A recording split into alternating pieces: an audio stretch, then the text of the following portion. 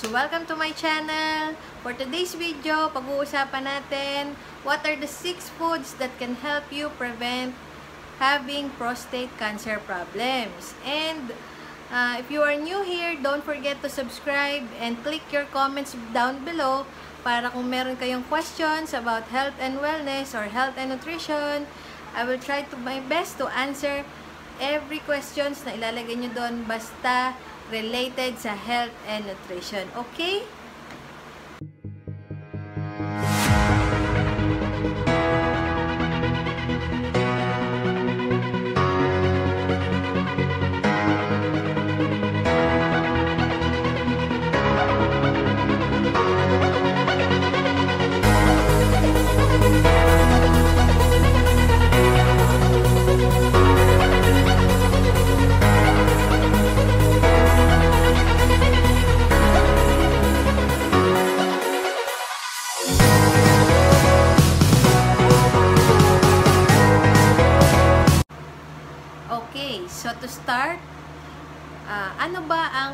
Prostate? Ah, ano ba yung prostate? So, ang prostate gland ay isang gland na kasing laki ng isang walnut.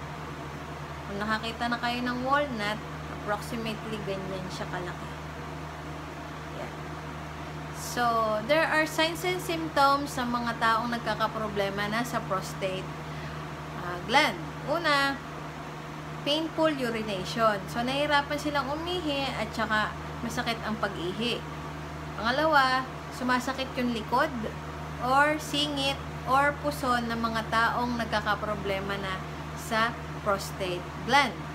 So, pag na-experience nyo yung mga symptoms na yon, punta ka sa pinakamalapit na urologist.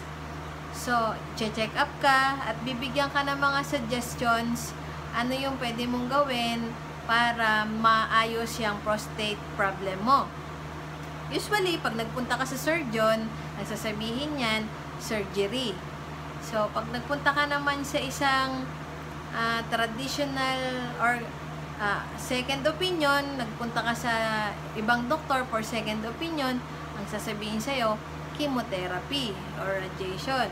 So, pag naghingi ka pa ng other opinion, meron namang magsasuggest sa'yo na i-freeze daw yung prostate gland mo or i-freeze ang prostate uh, cancer mo. And uh, pang-apat na opinion, magta-try ka ng alternative medicines.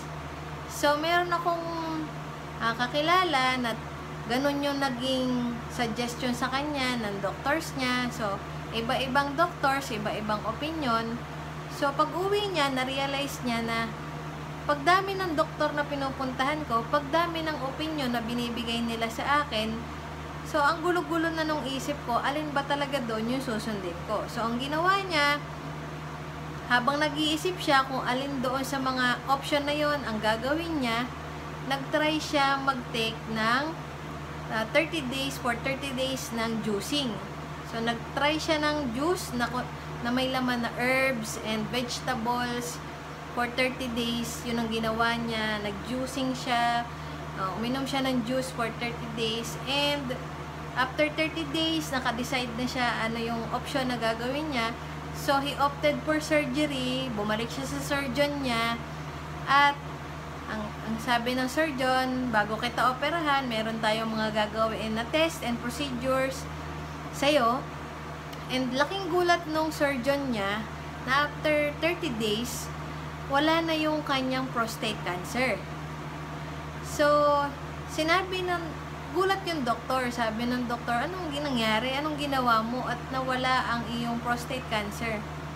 Ang sabi ng pasyente, habang nag-iisip ako do kung ano yung gagamitin kong option, doon sa mga option na binigay sa akin, nag-try muna akong mag uh, juicing or uminom ng juice for 30 days. So, ayan yung resulta. Wala na yung cancer niya. So, ang masasabi ko lang po sa mga viewers natin, walang masama na mag-try ka ng uh, other uh, options or alternative medications, especially juice or natural herbal juices. Malay mo, makatulong sa health condition mo. Kasi majority sa mga sakit ng tao, hindi talaga yan nagagamot ng gamot. Majority sa sakit ng mga tao ay caused by a nutrient deficiency. Merong mababa na nutrients level sa katawan mo kaya nagkaroon ng uh, pag-trigger ng pagkakasakit natin. So, yun. Pwede mong gawin yon, pwede mong hindi gawin. It's up to you. Nibigay ko sa iyo ang alternative. So, pag-usapan naman natin ngayon, ano ba yung 6 foods na nakakapagpalakas ng prostate health. So, number 1, tomato or kamatis. So, yung kamatis, mataas ito sa lycopene na nakaka-proven, nakaka-reduce ng paglaki ng cancer cells. Pangalawang option, pangalawang food na nakakapagpalakas ng prostate gland mo ay ang broccoli.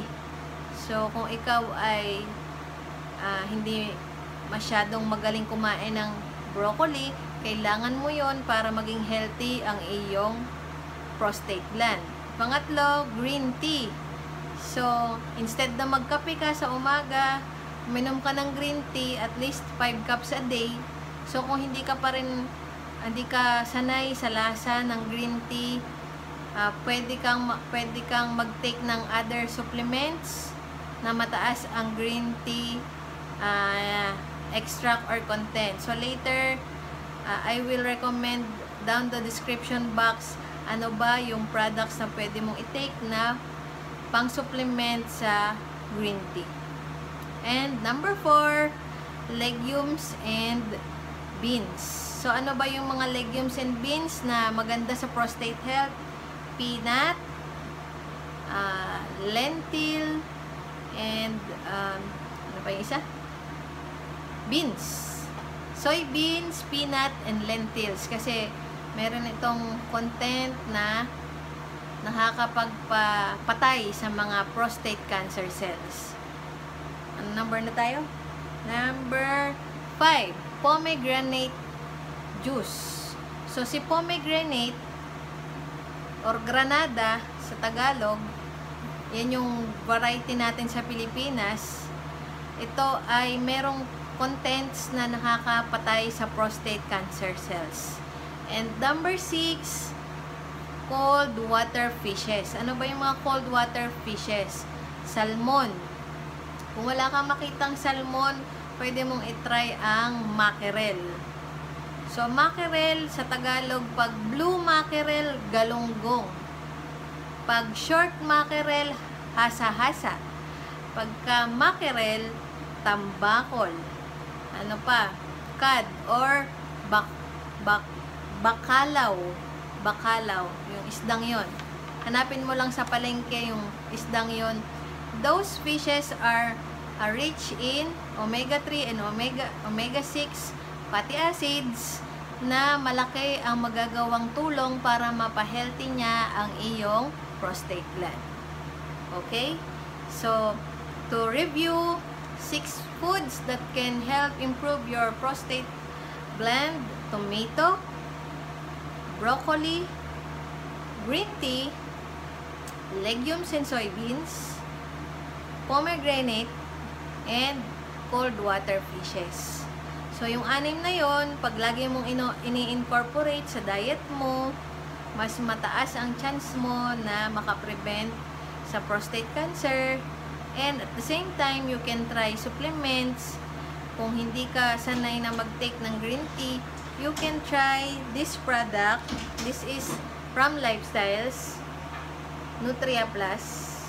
So, si Nutria Plus, based sa label niya, nabasa ko, number one content, green tea extract. Kasi pagbabasa ng food label, yung kauna-unahan sa ingredients, yan, makukita nyo.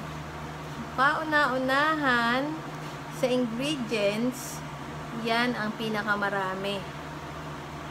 So, green tea, so green tea is maganda yan sa mga taong gustong makaiwas sa prostate cancer at sa mga taong merong existing na prostate health problem. At meron din itong laman na broccoli powder at yung pinakamagandang content na nakita ko ay yung selenium. Yan. Organic selenium na proven mineral na proven nakakapatay ng cancer cells. So, yun lang po. Hopefully, this video was able to help you kung ano yung mga pagkain na kakainin mo and uh, for more videos and for more updates, you can comment down below ano ba yung mga topics na gusto mong i-discuss ko para makagawa tayo ng video about doon. So, thank you and God bless.